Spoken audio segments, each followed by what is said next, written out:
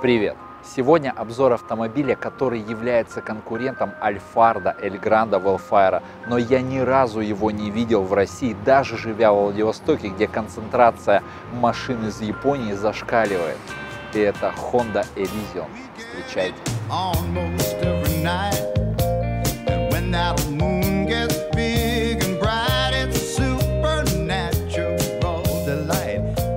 Honda, когда выводила этот автомобиль на рынок, они его противопоставляли минивенам большим люксовым от Toyota, Alphard и Velfire. Но продажи не задались. Этот автомобиль выпускался с 2004 года по 2013 год. И в итоге эта модель ушла в историю. И в этом видео нам надо разобраться, где Honda сделала ошибку, почему такой вроде с виду очень стильный, очень качественный большой минивэн ушел в прошлое. Давайте разберемся.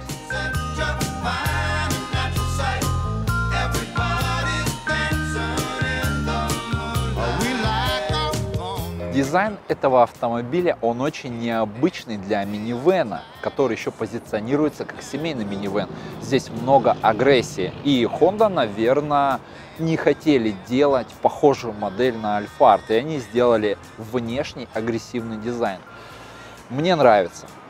А, Мне нравятся ручки, как сделаны, задние двери и передние двери, они сделаны одним блоком. Мне нравятся вообще все черты, мне нравится темная стойка, очень стильно выглядит, мне нравятся уши, мне нравится практически все. Ну а если посмотреть на переднюю часть, она устарела. Фара устаревшая, вот эта большая желтая полоса поворотника устарела, бампер устарел, решетка нормально. Фара и бампер, это выдает все-таки старость этого автомобиля, моральную старость.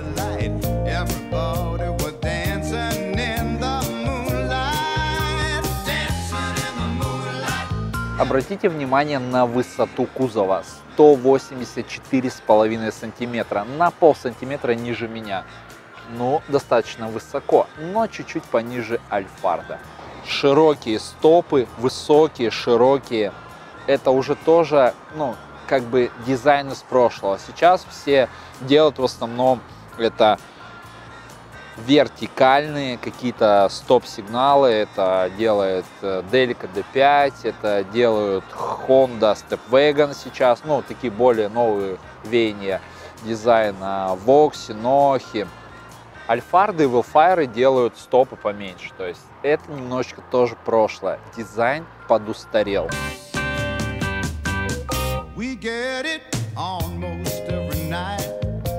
Под капотом у нас мотор 2.4, 160 сил. Маркировка мотора К24А в паре с пятиступенчатым автоматом. Этот мотор шел еще на CRV, на аккордах и до сих пор он ставился на Одиссее. Сейчас Одиссей перешел на двухлитровый мотор LFA, который идет в аккордах, а, а до там 14 год, 15 год Одиссея тот же самый мотор шел. Автомобиль, кстати, вообще в целом в очень хорошем состоянии, что по салону, что по кузову, ну и даже по подкапотному пространству не в земле. Какие элизионы бывали? Как у нас? 2.4 мотор, передний привод 160 сил. Точно такой же мотор, только полный привод, также 160 сил. Есть трехлитровый мотор на 250 сил, там уже мотор G30A. Также есть передний привод и полный привод. Те же самые 250 сил. Но самое интересное дальше. Дальше идет мотор 3,5 литра. И там уже 279 лошадей. Также передний привод, полный привод. И самые царские версии это трехлитровый мотор, 300 лошадей, передний привод, либо полный привод. В общем, Honda куражилась как могла. Моторы эти стояли также на легендах, на инспайрах, на э, Acura MDX. В общем, эта машина была интересная. И сейчас мы еще посмотрим салон. Там вся соль этой машины.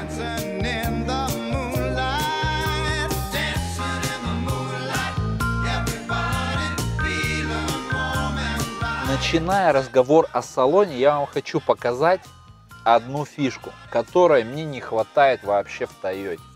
И эта фишка покажет отношение Honda, когда они конструировали салон, чтобы люди здесь чувствовали себя очень комфортно. Смотрите. Как открывается эта полочка. В Тойоте она просто вот раз, два закрылась треском. Раз, два. Здесь ты открываешь ее. Она вот здесь вот мягко сама чуть-чуть. Пружинка ее доводит. Ты закрываешь ее и она не с треском, как в Тойоте, в Крауне, она просто закрывается вот так вот. Вот так вот ее закрываешь. Здесь это отношение Honda. Ну, в общем, что? Салон, на первый взгляд, он устарел. Немного как-то вот, вот этот вот цвет под дерево сделанный, немного не то. Конечно, был бы он сейчас какой-нибудь под э, какой-то, не знаю, мрамор, какие-то темные цвета, машина бы смотрелась бы по-другому. Ну, что, это, грубо говоря, седьмой, восьмой, девятый год, в общем, тогда строили машины по-другому. И немножечко у японцев визуал, э, вкусы были тоже другие. Но здесь все дело в мелочах. То есть уже кнопки в 2009 году, они здесь были очень крутые нажатие кнопок, но магическое. Кнопочки, подогрев дворника, раздельный климат, кругляши вот такие, которые настраивают температуру, джойстик управления навигацией, всякие вот HDD диск сюда же, подстаканники, пепельница есть еще, но ну, сейчас уже вообще нету нигде пепельницы, подлокотник, интересно. Это пульт тут. Ну, тут мультимедии вообще очень много. Селектор тоже сделан. Хоть тоже устарело выглядит, но он качественно выглядит. Как здесь выглядит приборка? Она немножечко а, такая из нескольких слоев, а, голубая подсветка где-то в глубине. В общем, я даже до конца не понимаю, как она сделана, но выглядит очень интересно. Для 2009 года Тойоте в сегменте ног, в Оксе им вообще только поучиться. И, кстати, очень крутая идея. Бардачок отделан полностью бархатом. У меня в Тойоте справа такой маленький отсек, он у меня отделан бархатом, чтобы кинуть туда мелочи, она не дребезжала. Здесь полностью весь бардачок бархатный. Эта машина, это, это как Honda легенда, это очень качественно но просто это легенда в кузове минивэна, люксового минивэна.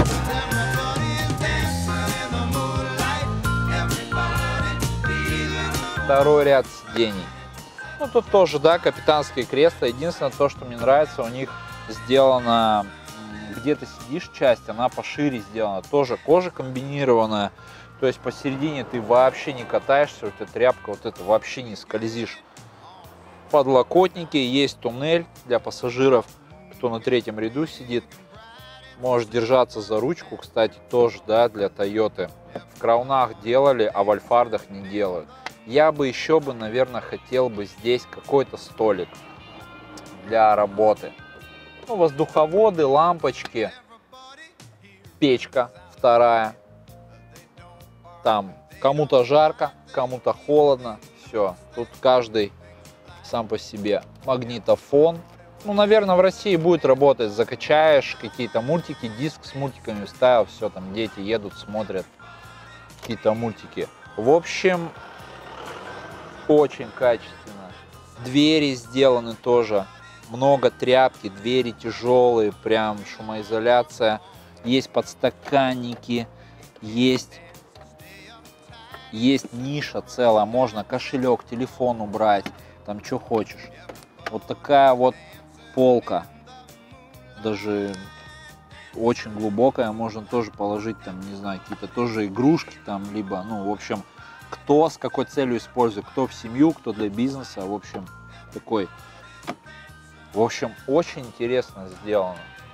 Ну, соответственно, двери на электроприводах, буквально одно движение, дверь закрылась, опускается стекло полностью, ветровичок. очень качественный. Третий ряд сидений.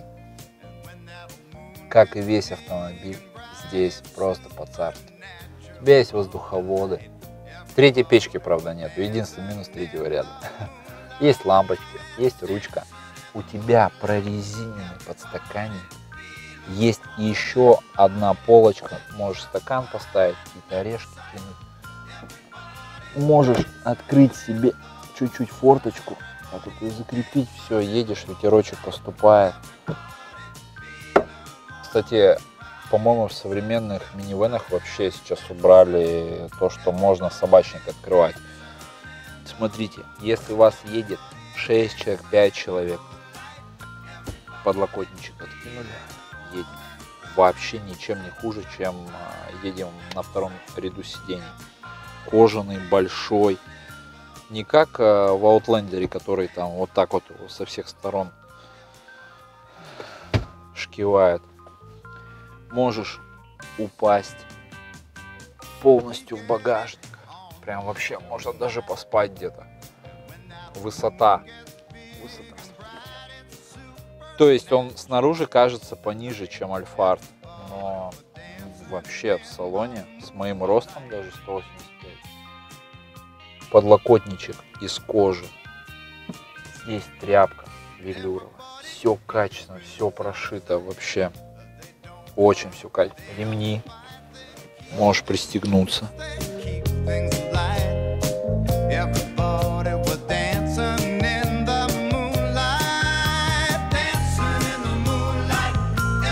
Езда на Honda Elysion не отличается от тяжелых минивенов большого класса, как Альфарды, Велфайры. Вот тяжелый руль, все-таки передний привод и, ну, не знаю, такая настройка. Тут, э, наверное, электрическая рейка уже, в общем, как-то тяжеловато после заднего привода крутить руль. Сразу же чувствуется комфорт, потому что здесь многорычажка, везде не балка сзади. В общем, автомобиль очень комфортный.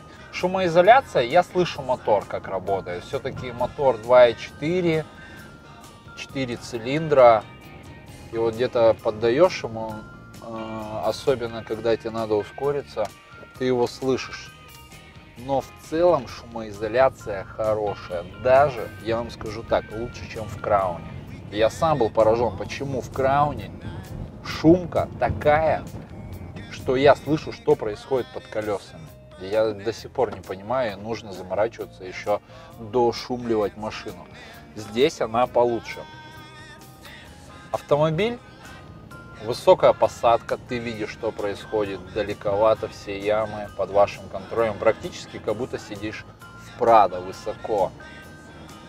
Немного сразу же непривычная работа автомата. После вариатора, после всяких планетарок, редукторов садишься сюда и просто автомат уже как-то, о, непривычно, там что-то переключается, какая-то там движуха идет в коробке. В общем, конечно, автоматы уходят в прошлое. Но кто-то прям вот принципиально хочу автомат. Ну ладно, окей. За рулем этого авто водитель, так же как и все остальные пассажиры, будут себя чувствовать в очень комфортном автомобиле, который внутри внушает спокойствие. Honda Elysion бывает двух типов. Есть с узкой фарой, а есть с широкой фарой. У нас широкой фарой эта версия более богаче считается. Они начинаются... Не, давайте начну с узкой фары. Узкая фара начинается примерно от миллиона пятидесяти восьмой девятый год. С широкой фарой самый старт цен миллион сто. Но это варианты где-то 150 тысяч пробег. Тоже 2008-2009 год. Наш вариант 2009 года, 2.4 мотор, передний привод. У нас пробег 86 тысяч и этот автомобиль, итоговая цена в России миллион двести восемьдесят. За 2009 год вы скажете дорого, еще и как бы дизайн, э, вроде и модель как-то устаревшая, непопулярная. Вы знаете, что я увидел в этой машине? Я даже в Альфардах такого не видел. Ни в десятых кузовах, ни в двадцатых кузовах. То есть она вообще другая. качество отделки здесь выше. Мне понравилось больше, чем в Альфарде и в Элфайре. А, можно ли назвать клиента, который заказал этот автомобиль, то, что он ошибся, он купил какой-то непопулярный автомобиль или э, ну, как-то он пошел не тем путем, как идут все другие люди, которые покупают минивэна. Нет. Я вообще ни разу не скажу, что он ошибся. Он купил очень крутой минивэн. Здесь есть чему позавидовать. Владельцы Вокси, Нохов, даже гибридных, которые там 15 года, да, они обзавидуются салону. Вокси никогда не будет обладать такими фишками. Хотя машина 2009 года. Очень интересные варианты. За такие же деньги можно было купить Delico D5. Можно чуть-чуть добавить, купить вроде бы Альфарда в 20 кузове. Можно купить себе Вокси хорошую гибридную. Можно купить себе Степ Вегана Спада на полторачном турбовом моторе. Но клиент выбрал Elysion. И он не ошибся.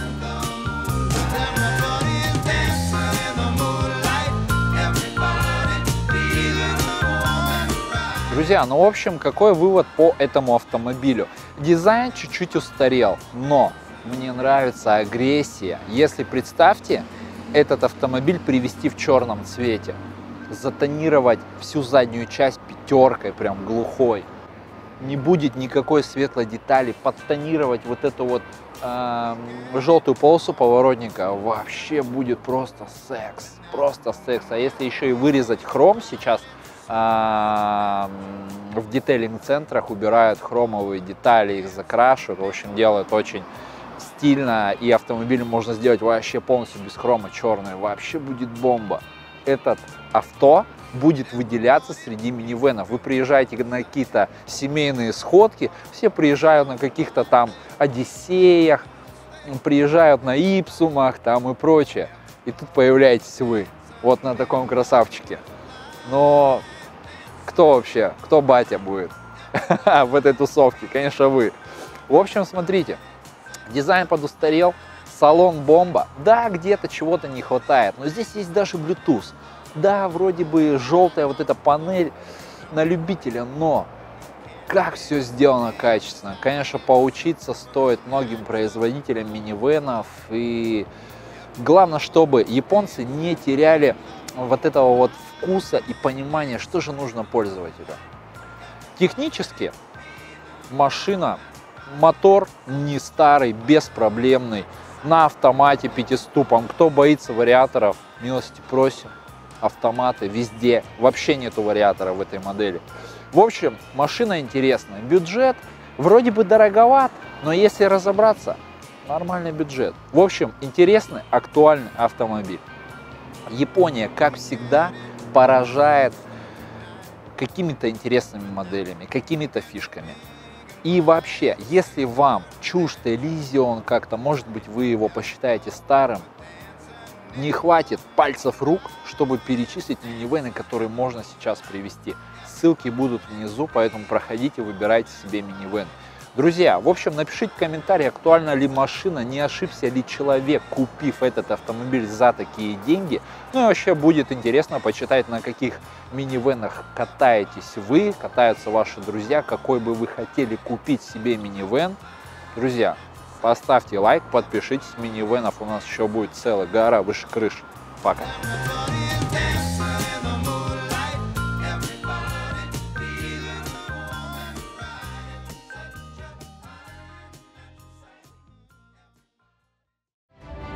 Компания «Сферокар» предоставляет полный комплекс услуг по подбору, доставке, растамаживанию и отправке по России автомобилей с аукционов Японии. Компания «Сферогар». Ваш эксперт в выборе качественного автомобиля.